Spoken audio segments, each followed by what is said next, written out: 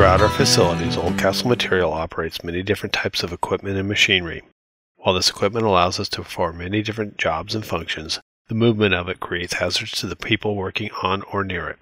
By properly guarding our equipment and machinery, we can significantly reduce the risk of accidents. Over the last nine years, 7% of the fatalities and 7% of the serious accidents in CRH have been from the lack of machine guarding. The results of an accident from no guarding is very severe. We must make sure all of our moving equipment is properly guarded.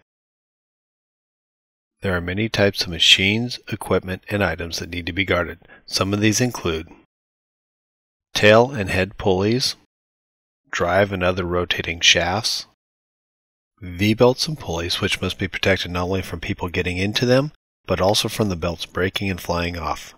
This will include belts over the 7 foot height limit.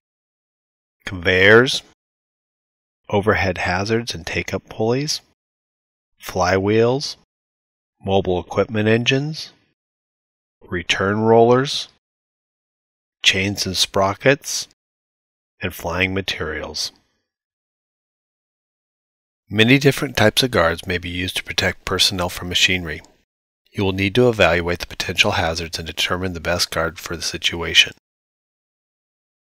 A point of contact guard prevents a person from contacting a moving piece of equipment by covering that machinery with a fixed and solid guard. This is the most common type of guard you will see out in the workplace. These guards must be fixed where they are not able to be moved at all while the equipment is operational or adjustable to allow different types of material to be worked with, similar to a saw. Permanent solid guards are the preferred method of guarding machinery. Guarding by location involves having the equipment stationed in a position where a person is never going to be able to reach the equipment. Anything that is over 7 feet in the air is considered guarding by location. Conveyors pose a special problem in that it can be very expensive to guard long conveyors.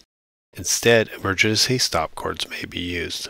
These cords must be installed wherever a person can be near a conveyor and positioned so if a person falls into the conveyor, they can pull the stop cord to shut off the equipment.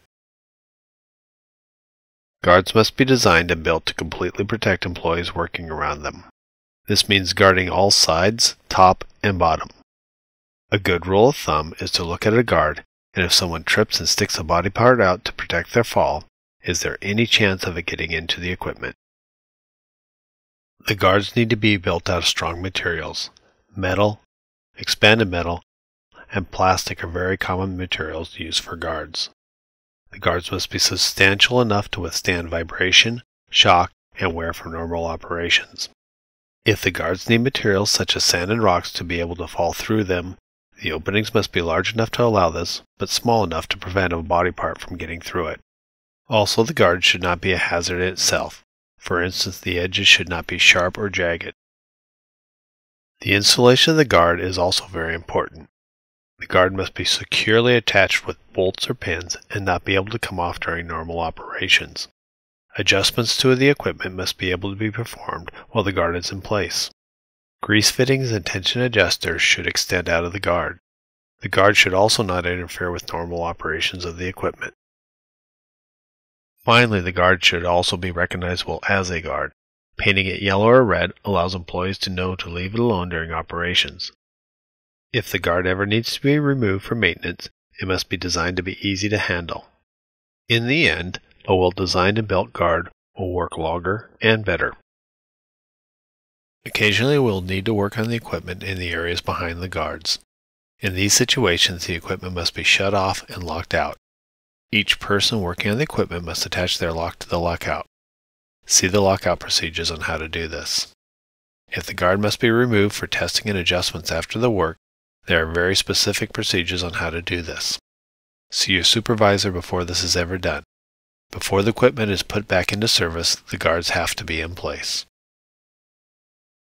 Guarding is not only for large equipment but hand tools also. Grinders, saws, and other tools are required to have guards on them. At no time can a tool that comes with a guard be used with the guard removed. Guards get used and worn and we need to perform regular inspections on them. Guards such as stop cords must be tested regularly. If we find a guard that needs repair or is not working, it must be reported immediately and the equipment it is on must not be operated until the guard is repaired. Also make sure to document these inspections. Guarding is a very crucial part of our equipment and how Oldcastle Materials protects our employees. Ensure we have good, solid guarding in place, it is functional, and the guards are in good repair.